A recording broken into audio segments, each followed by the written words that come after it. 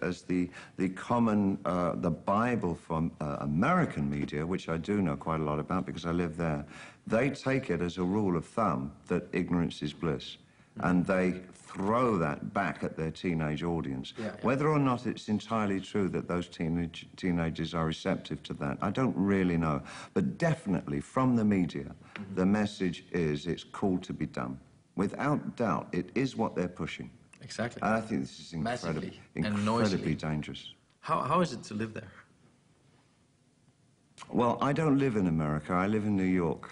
Oh, that's right. it's that's another country. Yeah, and I really do believe that. I don't think it's the same as living in America. No.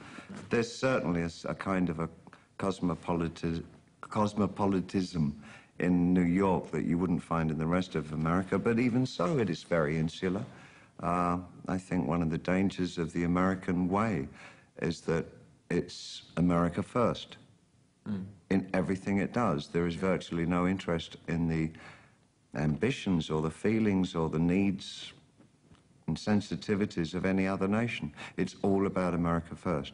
Yeah. Uh, and that's kind of that's kind of scary, you know, uh, as we know in Europe. You know, I think this is one of the major things that makes us resent the Americans so much. It feels as though everything they do is about America only. Only, firstly, bum, bum, bum, you know, and it's And like, you're being reminded that every morning. And you're being reminded of it constantly. So I think, you know, you, you kind of, within a little shell, you kind of rebel against it. I'm not an Americanized person. No, no. I am still very much European, you know, when I'm, I'm living there. And I very quietly try and tell people they're wrong about things. but you have to be so quiet over there.